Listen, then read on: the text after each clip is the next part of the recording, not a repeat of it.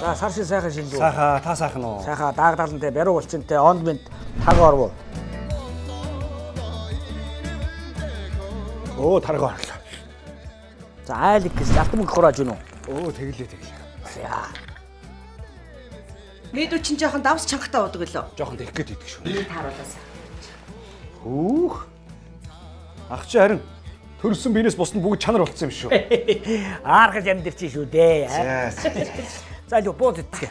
Бууз мууз яваа түрүү амсцсан юм чи. Одоо ингэ хоёр дүн хөдлөг юм. Дараагийн айлд очихгүй бол жоо яараа явчихсан. Оо тийм аль үгүй бэлги. Цэс сууч штэ. Энжид хэлг айл хаалттай ах чинь үндэсний үйлдвэрлэлээр хэмжээд Монгол хэлэг бэлдсэн. Аа за. Тэгсэн ах トゥ хамаатансаа айл их шиг жигдэх. Нэг орж ирсэн 2 3 орж идэх. Оо яагаад? Тэг бэлгэндээ байгаа мó бүү мэд. Оо ашиг. Монгол чанар бэлгийн багц. Аа ямар гоё. За тэгээд айл ихс алтан хураа гараа да. За юу бүтээр ингэсгээ хөдлөе дөө. Монгол чанар бэлгийн багц худал данд гарлаа. Эрхэм та бүхэн сар шиндээ сайхан шинлээрээ.